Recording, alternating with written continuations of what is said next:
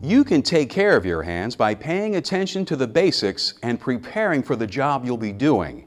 You need to develop a safety first attitude because the best way to stay safe is to prevent accidents from happening in the first place. You should be aware of the hazards that exist in your environment.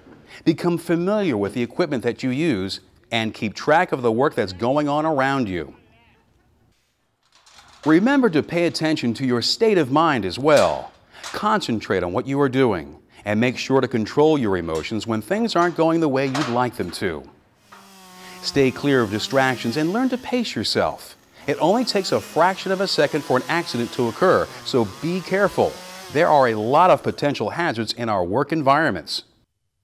High-speed cutting tools, heavy machinery, and sharp edges are just a few of the things that we can encounter. Because of their moving parts, many tools and machines can be dangerous. If we're not careful, our hands can be cut, pinched, even crushed. Make sure that all safety shields and guards are in place before you start work. Not knowing how to use a machine or tool can lead to an accident too. So take the time to become familiar with the equipment that you are working with. Follow proper procedures for operating and maintaining it, and don't take shortcuts. Don't wear loose clothing that could get caught up in moving parts and pull your hands in with it. Use common sense when you're working. Be alert for the unexpected.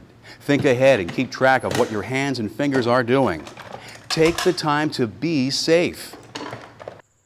When you are working with tools, be careful of handles that pinch your hand. They can lead to injuries to your nerves, tendons, and blood vessels. Avoid handles with sharp edges and finger grooves. Protect yourself by choosing tool handles that are smooth or padded. They can be more comfortable too.